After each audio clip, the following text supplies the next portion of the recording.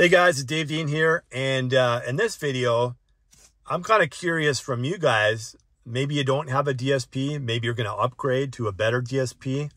Uh, I'm kind of interested in on what your favorite brand is, what you like. Put it in the comment section below. Um, in the last, well, I should say this month, I subscribed to a, a YouTube um, channel it's called CMA Connected, right? Uh, it used to be called something else before they changed their name. They don't get a ton of views or anything, and they have like excellent information on car audio, right? Um, so check them out, right? Uh, this this month was their channel is kind of dedicated to DSPs, so they had they had all the experts um, on the car audio manufactured products basically talk about their DSPs, their new products that are coming out, and their software, right? And so everybody was showing their software. Uh, and the, the cool thing about it is everybody's coming with upgraded software now. So, you know, they're, I would say Helix kind of set the bar, right? They set the bar way up here and everybody else was kind of like down here. And now everybody's coming up, right? Uh, everybody's trying to make their DSPs as user friendly as possible now. They're making it less time for when you go and take your vehicle in to get your uh, uh, car tuned, right? Um, and uh, they're just starting to make better products too, as well, I would say, right? Um, more power is coming, right? More power with the DSP slash amps and uh, just a better overall product. Um, not everything's golden in that land. Um, it just depends on what brands you like, right? So the ones that the videos that I've watched so far and kind of some of the research I've did on so far was like Hertz. They're, they're bringing out like a new DSP. They have uh, slightly new software, right? Um, obviously, we talked about Audison before. Um, they have the new software out. They have new DSPs and amps that have a little bit more power, right? Um, that's like their Forza line. Uh, the Hertz one, I think, I can't remember if it's something 8, DSP 8 or something like that, right? It's similar to what the other, the old one was uh, called. The old one was absolutely terrible. I feel bad for anybody that actually had that DSP because it wasn't good whatsoever. Um, but the newer one looks like they made some improvements to it. Uh, probably kind of more similar to the Forza one, I would say. Um, so those are the first two videos I watched. I watched uh, a video on Musway. I don't know if a lot of you guys even heard that company's name before. I've heard about them, but I wasn't like, when I seen the product and I watched their demonstration, uh, it just seemed, seemed like the same old, same old. They, they weren't coming with anything new that you haven't already seen before, right? And uh, it just almost looked like a company that had somebody else make the product for them and then they put the stamp on it. There's nothing wrong with that. A lot of companies are like that if it's a good product. But there was nothing that, like, spec wise, was just like, nah, whatever. There's nothing too exciting there uh, that I seen, right? Um, Alpines where I started, okay, this, like, if, you know, I I've always kind of liked some of the Alpine stuff over the years. Sometimes they're hit or hit or miss depending on you know what years they're bringing out new products. Right, the whole restyle thing, I wasn't a big fan of that, and they charged you a lot of money for some of those products. Uh, I've seen like three, four thousand bucks for like a head unit. I mean, come on, guys, and it wasn't really doing anything spectacular. I would say. Uh, if you if you own one of those, I'm not trying to bash them. I'm just saying like they're they way overcharged for some of those products. That's all I'm saying when it comes to that, right? Um, but that being said, and I don't know the prices on this, but they have like uh, they talked about their new DSP slash amp, right? That's coming out, and uh, if I get some of these channels mixed up, it's because I watch so many different companies' presentations, and uh, all like almost all of them have a lot of different DSP channels built like built into the DSPs, right? So they'll have like uh you know, for the Alpine one, for example, I think they said it's like four by 80 watts. for four of the channels at four ohms, right? And then four by 50 watts at four ohms. So it's not a lot of power. And to me, it's just like, well, uh, and I think it's a 12 channel DSP, right? So it lets you add other amplifiers to it to be uh, processed by the DSP. Uh, and almost all of them that are coming out are like that now, right? They'll give you like some amplified channels and then it'll let you add on, you know, four or six other channels uh, of DSP processing, even more on some of them. So that one, I really like the software layout that they did, uh, that they pres presented there. I really like the Alpine software. Um, I wasn't a big fan of the power. I would have rather it had the Alpine just had a standalone. So it's the status is what we're talking about, right?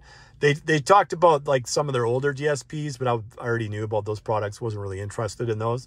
Um, I was interested in the status lineup one. That's the one I'm talking about right now, and uh, it would have been nice if they did would have did like you know 150 by two at four ohms, and then 80 by two at four ohms, and then 50 and 50. I would have been happy with that because then you could actually do a proper system with a, enough power, right? And then you just need a sub amp at that point in time.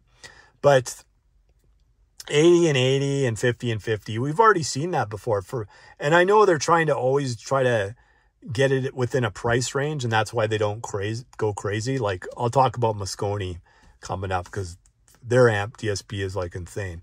Um, what they offer. But uh, for Alpine, I like really like the software, and you guys go check it out. Like I said, it's CMA Connected on YouTube. Search it and you'll see lots of good information that nobody seems to watch. Because they don't they don't get any views whatsoever but they have excellent information because they actually have the head guys talking about their products right on there. Um, maybe a lot of people just don't know about it that's all. Like i just stumbled upon it it just appeared in my feed one day and i was like i've been watching some of their stuff for probably the last year and a half so good information on there um, most of the time on some of their videos not all of them but some of them do and so it's worth checking out. Uh, so back to the Alpine stuff. The cool thing with the DSP amp that you kind of already knew was going to happen, their new head unit that's coming out. Uh, instead of using the, the, the DRC, like the controller, like kind of like the Helix, right? Um, they offer that to work with it, but you can use their brand new head unit that's coming out, the single DIN that's supposed to be, I think it's coming out like September or something. Um, you can use that with it too, right? So that that's kind of cool we just got to wait and see what they're actually going to price these things at. Um, and depending on what the price is, it could either be like, you know, good or not so good, right? You just never know based on uh, um, what a company is going to price price their stuff on, right? So after that, like the Hertz, Audison, Musway, and then Alpine. Uh, like I said, Alpine talked about their old DSPs too, but I was just like, whatever. I've they came out quite a few, you know, last year and then the year before that. So um, that's kind of what they showed and talked about for the most part was that new DSP amp that they're coming out with. And then they showed the software, which was cool. Uh, the next one that I seen, um, I don't know if I talked about but this was the JL audio. Uh, their stuff was kind of like they haven't they didn't really bring anything new out for when it comes to like DSPs or anything. It would have been cool for JL to bring out like a standalone DSP. Would have been nice, right? Um, but they didn't. I would have liked to seen a like a beefed up version of kind of what's in the VXI with like full 32 band EQ and parametric EQ, uh, like a graphic EQ, parametric EQ, just a full blown DSP would have been nice out of them, right? I think even the JL guys would have wanted that, right? Because the one thing people complained about about the VXI amp slash DSPs was not enough power, right? At 4 ohm. You have to end up bridging the channels and then you go from eight eight channel DSP to six channel DSP, you know what I mean? So a lot of people, that's what they kind of complained about with that. So I would have liked to see out of JL, and, and we're probably going to get it maybe next year, probably, or the year after, a, a standalone DSP like a good, like we're talking top level DSP, right? And it would be nice to see some more just standalone amps as well. That would go hand in hand with those uh, more powerful amps, right? So because they kind of declined in the power department with the VXIs. And uh, that's the only thing I wasn't a big fan of when it, uh, they're like, they're decent. Don't get me wrong. It just would have been nicer to see like more power coming out of those things than, than what they give you. So the, the most excited thing I, I liked about the JL stuff was their max tune. Unfortunately, it's like almost five grand in Canada to buy it, but that seems like, you know, the best of the best that if you wanted to get the best tune in your vehicle, that would be something that you would use, right? Um, that thing pretty much does everything. And when I, uh, as soon as I watched it, uh, because I was like, oh wow, this thing's this thing's extremely impressive, everything that it does. And then I go and search for their price, and I'm, and I see like almost five grand Canadian, and I'm like, okay, yeah. If that if that would have been like you know two grand or twenty five hundred bucks, I would have bought one. But five grand's getting up there for something that, you know, once you get your tune done or a few tunes done, you chances are you're not going to use it. I mean, you can use it in anything, right? You can use it for uh, uh, obviously car audio. You can use it for your home audio system. It's like pro audio. You can use it for marine audio. You can use it for everything, right?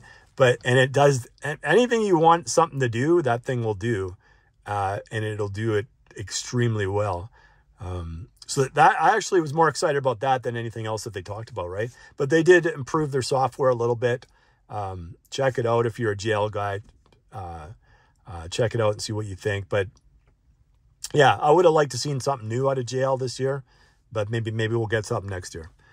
Uh, going on with who was next? So Mosconi, uh, you guys remember I was talking about the 430, the, the, the class A slash AB amplifier, right?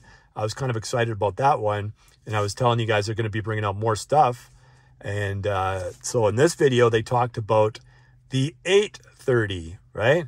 And the 830 has an aerospace, I believe it's a 12 channel DSP built into this amplifier. So the amplifier is 4 by 170, so the exact same thing as the uh, the 430, right? Exact same thing there. And then it's got another four channels at 80 watts, all at 4 ohms, with an aerospace DSP built into it. And I believe it's like, it's either 12 or 14 channels, this one. I think it's 12 channels of DSP. Uh, so you can add extra amps right? It has extra outputs to add extra amps that can be processed via the DSP. So for guys that like Mosconi, and it and the chassis size is identical to the, the, the 530 amp and the 430 amp, which are the same size. Um, I don't know how they deal. I don't know how they did it. Fit everything in that chassis and having so much power, but that's what it is, right? And um, I mean, if I was just starting out, I mean, this thing, don't get me wrong, we don't, I don't know what the price is because it's not out, but it's going to be around that 45 to 5,000 Canadian mark because you already know just based on the prices of the other amps, what that's going to be, right? Um, probably like four grand, 4,500, probably more. Uh, then I'm talking Canadian dollars. Um, but you're getting a ton of power. I mean, you can do your whole system active there. You can have your three ways, your rear fill, um, and then you just need a sub amp basically, right? So you, you, that would be a nice two channel or two amp system with the DSP, right? Because it's got the DSP built in and you're good to go. Software wise, I wasn't like a huge fan. They, they've simplified everything, right? They made it easier. They added a lot of features to the Mosconis. Um, just in general, I just didn't like like the, the kind of the colors and stuff they used, but that's just whatever, right? Um, it, it, the, the best thing about it is they kind of simplified kind of what the old software looked like now with the new software. So they improved it. They added more features. They made it easier to use. That's the main thing, right? Um, I just didn't like the kind of the colors that they had on there and stuff like that. It wasn't a clean look like Alpine or like the Helix, right? Where it's nice, clean looking uh, display. Um, I think you can make the screen any size you want. That was kind of a cool thing, but uh, but it, it still was good over overall. Like I said, everybody's coming out swinging, and they're trying to improve their software because that's that's the main thing on the DSP. Honestly, is like your software. You want to make it easier to tune a system. Everybody has kind of like their own automated thing that they use. You're never going to get 100% using automated um, systems, but they're going to give you a good tune um, most of the time, right? Um, obviously, if you want more than like 80 to 90% out of your system, you're going to have to go into more of an advanced um, level when it comes to DSP tuning, right? So the Mosconi one, I, I liked. I didn't write, like I said, I didn't like really like the color scheme and stuff that they were using on the DSP, but that's like just nitpicking. Um, overall, in, incredible amp slash DSP, Class A, Class AB, um, with the DSP, with a t- more power than anything else that's been shown to date, right? So I let that's the thing I like about Mosconi. They always come swinging with power. They always give you a lot of power, which I like, right? Um, so we'll see what the price is on that guy. But uh, that one, I was kind of like, I like that one. I was kind of excited about that one. Kind of, ex- kind of excited about the Alpine because I kind of like the Alpine head unit. For me, I would never get it because I got this. But for other people out there that want like the old school, uh, you know, single din style looking uh, uh, unit, then you know, before you had like the Sony that you could go with in the last like you know five six years, that was probably I guess the go to right um, for people that want the traditional car audio looking um, thing. I've graduated. I moved on. I'm on the M17. I don't I don't really care about those products, but I still like reading about them and learning about the features and stuff like that. Uh, but to me, like you you get those single dents, they're just too small. Like it's like this. Like I mean, if this has like your tracks and stuff like on it, you know what I mean? It's just it's gonna be too small. It's like the Zapco ones, right? Um, it's just kind of like too small to be reading, especially when you're driving. I like stuff that's big, that's easy accessible, so I can concentrate on driving and listening to the music, not going on something where I'm, you know, I don't have to make much of adjustments on here. I put my sub level pretty much around 13 or 14, and I always leave it as that, right? There, there's only a few songs that I come across where I might have to turn the sub level down honestly. I got it at a good level. I don't have to touch it. So the only thing I'm doing is just grabbing the wheel and turning the volume. So, um, but that's almost like the, you know, they're a little, a little bit bigger maybe on those other things, but I mean, the screen, uh, is almost like the same size as what you'll see on those things. Right. And to me, it's just like they, I loved them back in the day, but I'm not going back there. you know what I mean? It's like a, people like always have the nostalgia you know what I mean? Like nostalgia when it comes to even like the old amps and stuff like that. But if you go put an old amp into your vehicle, um, as opposed to a new amp, try running that old amp for like more than four hours in like the temperature that that's been, I don't know, it's probably hot wherever you guys are too. Try running those old amps from back in the day now and see how many hours you're going to get out of it playing it. Like that, the amps, like in my system, I can go all day long, right? But before, back in the old days, you couldn't go all day long a lot of the time because your alternators weren't, well, unless you had a souped up alternator and whatnot, you wouldn't get, you know, a lot of times if you're cranking it full tilt, you might get like four hours, maybe five hours out of it if you're going full tilt all the way. Um, unless you had an upgraded alternator back in the day because back then you had like 60 amp alternators and stuff uh, on some of the cars, right? It's because you didn't, you didn't have all this stuff in your vehicles back then, right? Um, and now they, of course, you have like, I think I have a, a in my system, I have like a 180 amp alternator, right? Um, so my, you know, back in the old days, your, your lights would be flashing with the bass music, right? Um, and if your system's done up these days and you're in a decent vehicle that has a good alternator, uh, you don't really have to worry about that. I don't have anything in my vehicle, uh, like flashing, dimming or anything like that, right? But that's kind of what, uh, to expect um, you know, that nostalgia thing. Remember, oh my God, that thing sounded so great.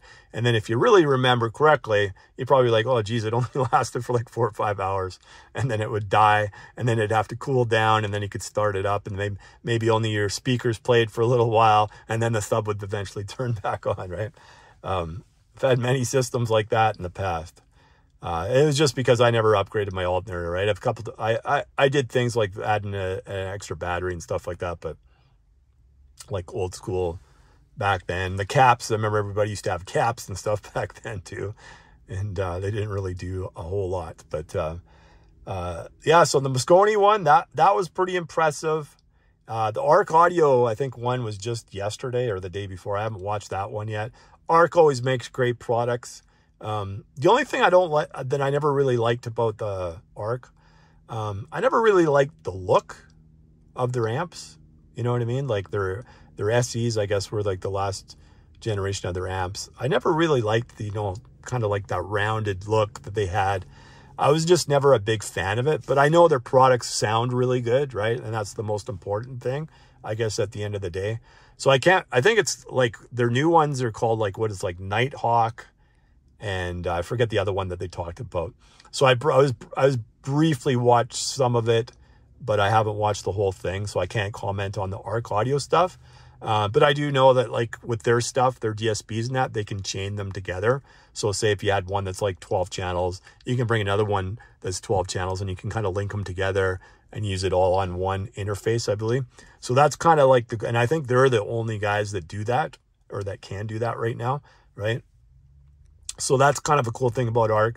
But I don't want to talk too much about ARC until I actually watch that one. So maybe I'll do another video in a few weeks based on the second kind of half of the DSPs that I've uh, that I've seen so far, and then see. Um, I still still to this day, from what I've seen, I still think Helix, when it comes to like the DSP software side of things, I still think they're still number one over everybody, right? Um, I like the Alpine. I like that they're kind of, you know, some of these companies are introducing new features where you can actually select the speakers. A lot of them, obviously, it's their brands, right? That you can pick. And then it'll set like, you know, the crossovers and everything for you uh, on on that. Like, uh, I think Alpine does it. Um, I think the Mosconi one does it too, right? If you got like uh, um, their Gladen speakers or whatnot, I think that's kind of included in there. And it'll kind of set up the, the what it thinks those crossovers should be at, right? So that's kind of nice, kind of a nice of a thing. Obviously, for people that, uh, you know, you're a little picky or whatever, you're going to want to go in and change things to however you want it, right? Um, but they, at least it gives you like, and then, and then they're the experts, right? So they got it. This is what you should be using. So, I mean, for the most part, it should sound really good if if you're uh, picking the actual that's if you got their whole system. So if you're Mosconi guy you'd have to have the Gladen speakers. Um, if you want that part to play exactly how that is right? Um, they have other ones if you're if you're picking uh, if you have speakers from a man, other manufacturer some of the ones I think the Alpine one does too as well I'm not 100% sure but it looks like some of the companies out there that I've seen are kind of doing that too where a screen will pop up and it'll show you like a, a mid bass, a mid, and a tweeter, right? And then uh, um, will do like the size of it, right? And then once you pick everything, then it'll set the crossovers for you on there. So that that's kind of a cool thing. So they're just trying to make everything easier for the end user when it comes to like setting up a DSP. So anyways, guys, if you stayed with this video this long, like I said, drop in the comment sections kind of maybe you're looking at getting a, DSP for the first time.